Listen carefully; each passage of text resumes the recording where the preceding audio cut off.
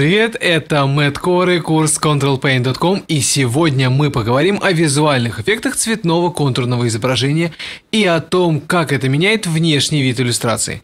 В домашнем задании вам нужно будет воспользоваться приложенным файлом с упражнением и поэкспериментировать с различными цветовыми контурными изображениями, чтобы получить различные результаты.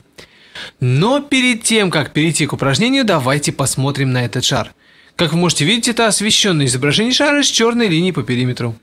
Я включил опцию «Сохранить непрозрачность пикселей», поэтому мои мазки не выйдут за пределы слоя с шаром. Но что если линия будет не черной, а темно-синей? Вот я выберу голубой цвет и затем сделаю его немного темнее.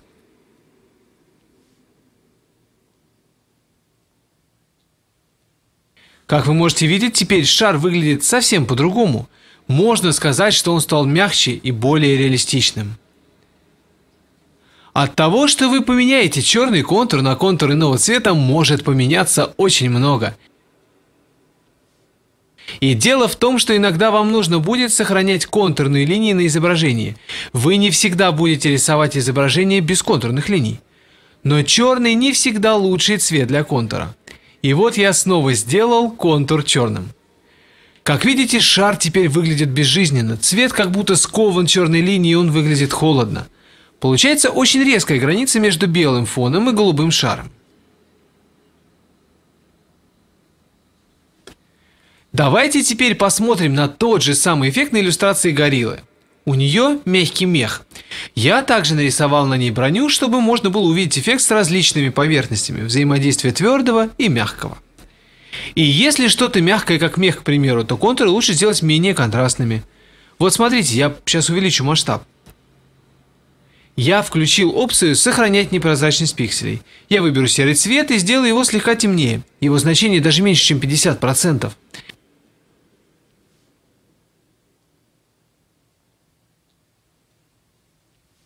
И в темных участках цвет может быть даже немного темнее, смотрите.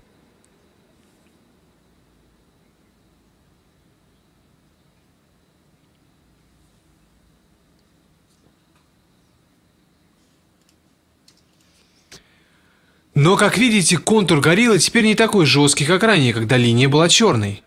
Теперь, когда контуры меха стали мягче, видно, что горилла выглядит совсем иначе и в рисунке больше деталей. Как вы видите, есть разница между контурами меха и брони. Но что если немного поменять и броню и сделать контур того же цвета, но немного темнее?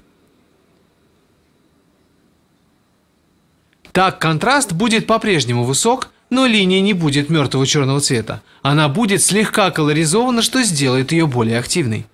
И именно так броня больше похожа на настоящую медь.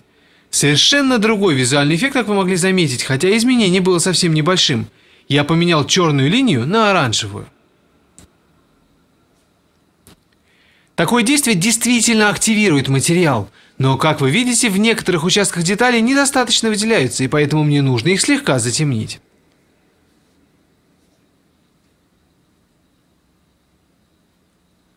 Опция «Сохранять непрозрачность пикселей» делает процесс работы куда легче. Мне не нужно беспокоиться, что я вылезу за край. Я просто рисую очень большими мазками, нанося изменения в нужные мне участки.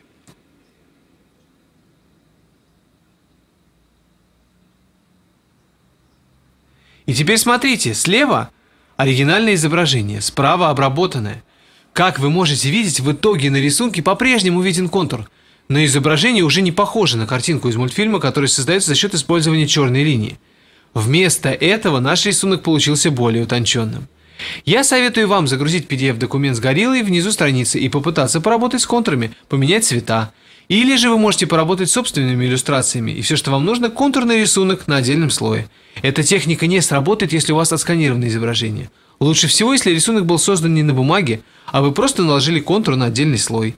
Я желаю вам удачи и попробуйте поработать с контурами. Спасибо за внимание.